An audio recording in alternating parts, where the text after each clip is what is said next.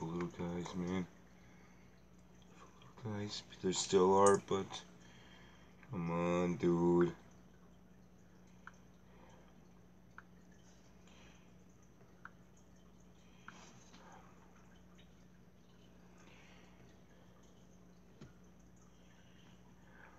I think I should put him out of his misery, dude. This one's not doing good either kidding her.